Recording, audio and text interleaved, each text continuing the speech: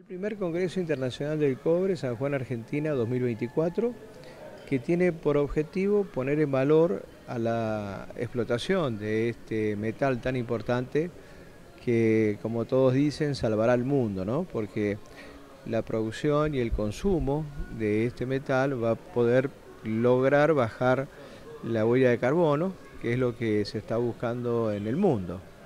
Así que estamos muy comprometidos en darle divulgación y más profundidad al tema de la explotación del cobre y de qué manera también se le puede dar valor agregado a este claro, La mesa del cobre es una idea del gobernador Marcelo Rego que ha avanzado mucho, ha comprometido a varias provincias y otras, eh, bueno, que esperemos que se sigan sumando. Bueno, son los primeros pasos que se están dando, pero tenemos mucho futuro, tenemos mucho futuro y el compromiso es eh, día a día y este tipo de congresos técnicos científicos lo que buscan es que podamos formarnos más académicamente y que el sanjuanino, no solamente el que sabe, sino el que no sabe pueda conocer de los que saben de qué se trata.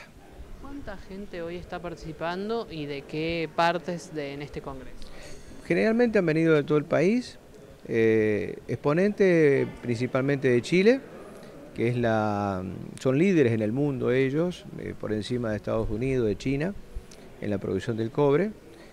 Y después, bueno, muchos sanjuaninos también, este, ingenieros de mina, geólogos muy prestigiosos, están participando de esta, de esta jornada, de este congreso, ¿no? Más o menos, ¿cuáles son los tópicos que se están tomando?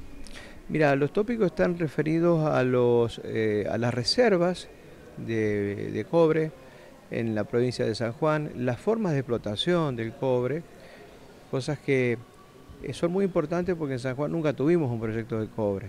Entonces, esto hace que eh, se genere mucho interés.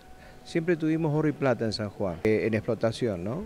Pero de cobre no. Entonces, hay mucho interés. A diferencia de los proyectos de, oro y plata, son de mayor tamaño. las minas de cobre son de mayor tamaño, requieren otra, otro tipo de infraestructura.